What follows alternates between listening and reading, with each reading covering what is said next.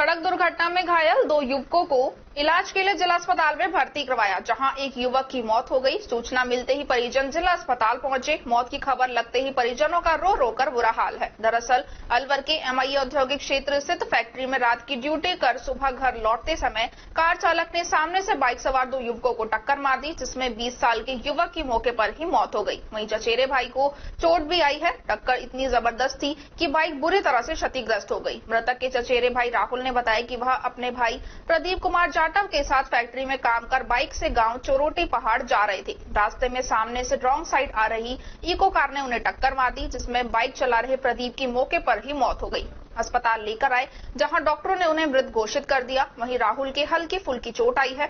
Police ने मृतक का पोस्टमार्टम कराकर शव सुपुर्द कर दिया है। कार को लेकर मौके से फरार हो गया, जब पुलिस कार चालक का पता लगाने में जुटी हुई है। घटना व रूट के सीसीटीवी फुटेज खंगाले जा रहे हैं। घटना के बाद मृतक के घर में कोहराम मच गया। मृतक प्रदीप अविवाहित था, जो दो भाई है। पिता मजदूरी करते हैं। क्या नाम भाई आपका? राहुल है मेरा नाम। और दूसरे का? प्रदीप। कहाँ जा रहे थे? मैं घर जा रहा था। कहाँ के रहने वाले थे? चौरोटी पहाड़ के। कहाँ गए थे? हम कंपनी गए थे। कौन सी? फ्रूटी तो फिर?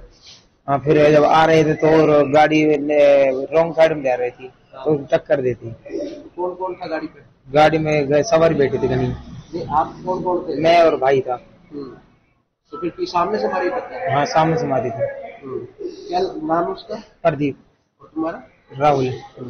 तो अभी यहाँ पे कौन लेकर आया आपको? वह यहाँ पे यहाँ पे तो भाई चाचा चाचा और पापा ले वो मौके पर ही हो गया था कि लगने के बाद हुआ? क्या? वो एक्सपायर हो गया एक्सपायर हो गया मुझे। वहीं पे ही? क्या नाम है राहुल।